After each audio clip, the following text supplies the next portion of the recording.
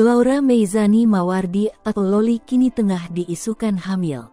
Isu tersebut mencuat setelah diungkap oleh asisten pribadi Nikita Mirzani, Mel dalam siaran live di sosial media.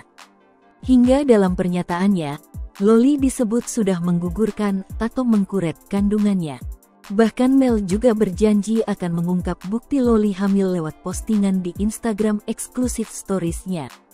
Imbas dari pernyataan sang asisten, kini Nikita dirujak warganet di Instagram pribadinya, at Nikita Mirzani Mawardi garis bawah 172. Tidak sedikit akun yang dinilai menceramahi Nikita terkait Mel yang menyebut Loli hamil. Pun wanita yang akrab disapa Niki itu sampai dibuat kesal saat warganet memintanya untuk memaafkan dan menerima Loli kembali. Lewat postingan Instagram Story, sang aktris meluapkan protes pada warganet. Lah kenapa gue diceramahin? Ada apa lo netizen? Tulisnya. Lalu dalam postingan video, ibu tiga anak ini seolah menyindir warganet yang menceramahi dirinya lewat kolom komentar. Kalian itu berasa kayak besti aku, 24 jam bareng.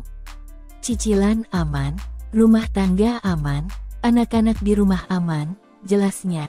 Di akhir, dirinya sekaligus mengancam akan melaporkan akun yang menghujat dirinya. Kalian harus hati-hati, kalau gue udah iseng nanti cap chip cap.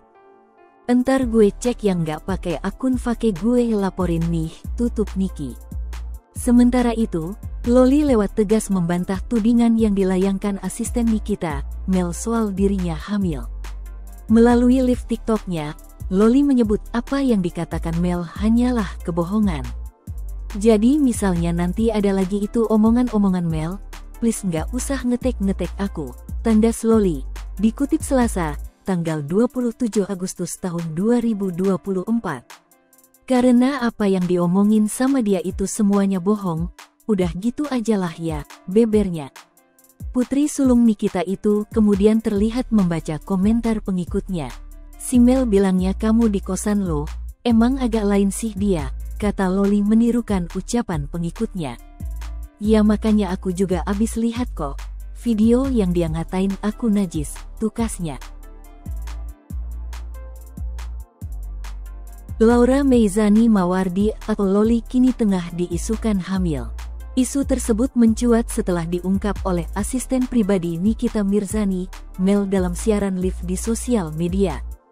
Hingga dalam pernyataannya, Loli disebut sudah menggugurkan atau mengkuret kandungannya. Bahkan Mel juga berjanji akan mengungkap bukti Loli hamil lewat postingan di Instagram eksklusif storiesnya. Tribun X menghadirkan lokal menjadi Indonesia.